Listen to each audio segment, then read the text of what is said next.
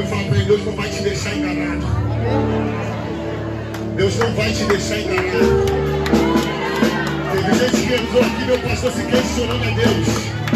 Teve gente que entrou aqui se questionando a Deus por algumas coisas. E Deus disse para mim, Mateus, fala para o meu povo. Eu não vou te deixar enganado. Essa situação não é para nós. Ei, ei, ei.